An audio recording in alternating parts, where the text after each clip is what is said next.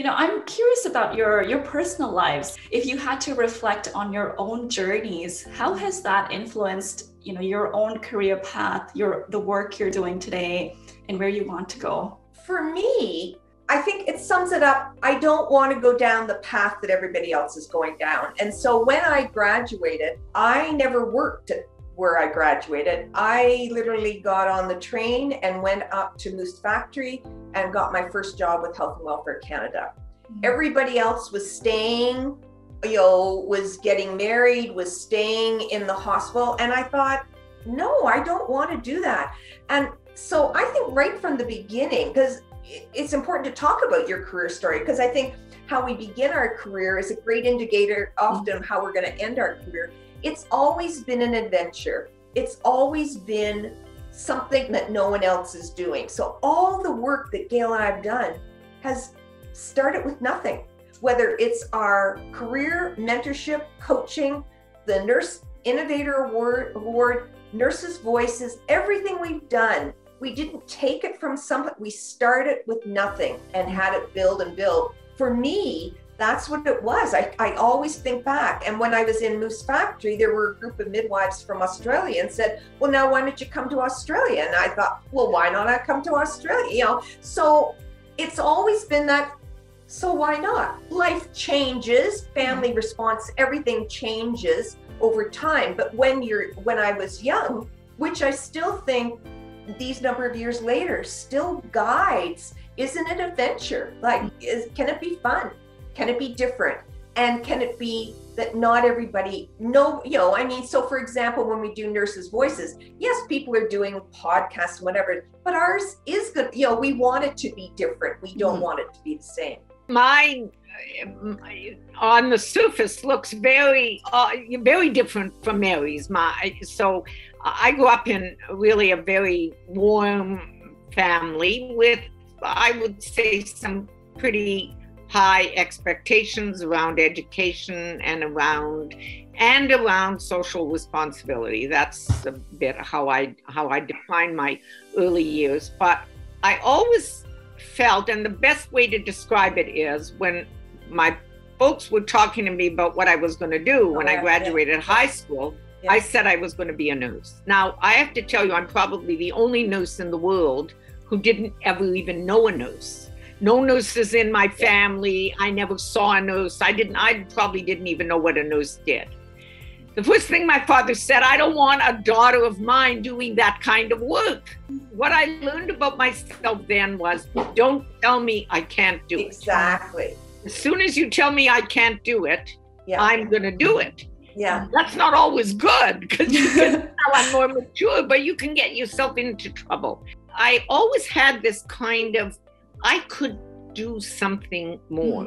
Mm-hmm. I didn't really know what it was. Mm-hmm. And I would say I was quite risk averse mm-hmm. until I met my husband. Yeah.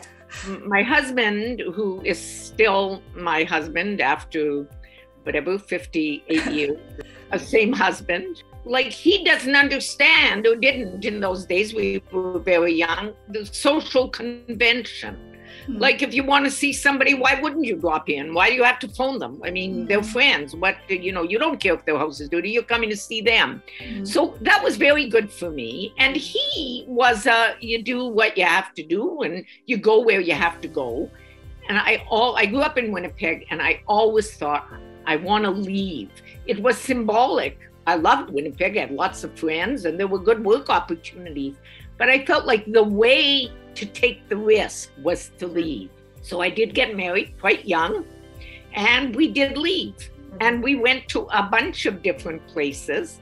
And I always have given him the credit for we went he went away to do graduate work and I was working as a nurse and he said, Why don't you go to school? You could get a undergraduate degree. I said, oh, you think I could do that? And then I did it. And then the next thing, I got a master's degree, and the next thing, a PhD. Uh, and we were all over the place. And we came back then to Canada and to Toronto. And by then, I was very comfortable with not knowing anybody, going and getting a job where you don't know anybody, living in a city where you don't know anybody, renting accommodation you thought would be wonderful that turned out to have other, you know, all the kinds of things that you get from living. But I, at that time, had the experience of meeting such a diverse group of people Mhm. and nurses who were doing things I didn't even know from my very narrow nursing mm-hmm. education in the mm-hmm. Winnipeg General Hospital. Mm-hmm. So all of a sudden, my eyes were opened.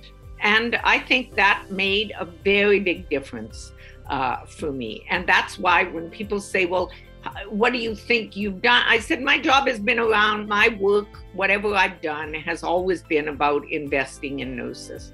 I've had lots of employment opportunities and a lot of things that would have probably earned me more money and given me more status, but would have meant leaving nursing, you know, going to work maybe in healthcare, but in other things. I like to stay close. Mhm. I believe in nursing. Mhm. And I think my early, the early adulthood, I won't say childhood, but I'd say the early adulthood, I learned how much pleasure you can get from just stepping off the curb. Mhm. Mhm. Just, he doesn't have to step off the cliff. Yeah. You just have to step off the curb. And uh, when sometimes I've, my children are, they tell me they're middle aged. Doesn't I can't believe that. I don't think of them that way. But they tell me that if there's anything I taught them, it was that. If you don't ask, for sure Yeah. you won't get. And just try, take a step. You know, what's the worst thing? You'll have to get back on the curb. Mm-hmm. Someone will help you. I love both your stories. Like, you know, I I see two very powerful women and fierce, and Fierce, especially okay. for especially for your time at that time. I'm assuming Yeah. it, it wasn't like the normal thing to to witness. Exactly. I think the other thing, just when you're, it's just an aside, but we've all, so when Gail tells her story and I tell mine, there are similarities. I mean, Oh, it's yeah, of the, course. you know, but I think the other common theme, which I find significant, is both Gail and I had very, they're both dead, very strong mothers Mhm. who Yes. both our mothers were born in the same year and died in the same year Wow. at 101. Wow. Now-. Yeah. That says a lot. So there is a fierceness. And I was saying to Gail, yeah, when I think of Anne, her mom, feisty. And I think in a way, we do, we are we're we're fierce, we're feisty, and but not stepping over everybody, sort of Mhm. fierce, feisty, and saying, "Come on with us." Mhm. Like it's like the pot, you know, come on, come on along for the for the ride.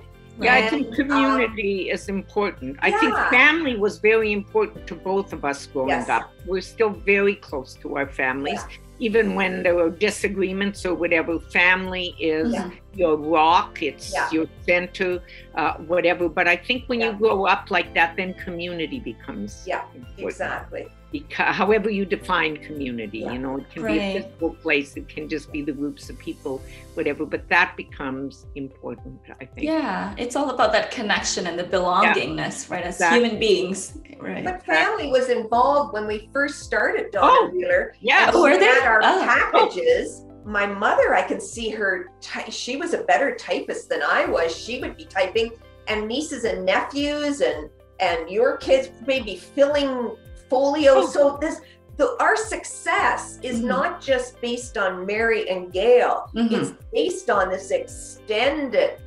network of family, colleagues, Mhm. friends who again are we are we are in awe so often when people acknowledge how we have made such an impression in the, their lives and we're saying but we could not be successful No. without you so it's not a two-woman show at all it's, it's well known and, and documented the importance of beginnings It- because I, you know I, I, it's oversaid but that is where you get your picture of what's important Mhm. and who you want to be in this world and Right.